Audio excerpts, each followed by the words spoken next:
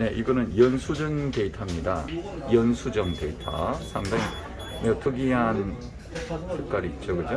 아주 아주 끝내줍니다. 자, 우리 이쪽에서 음, 연수정입니다. 네.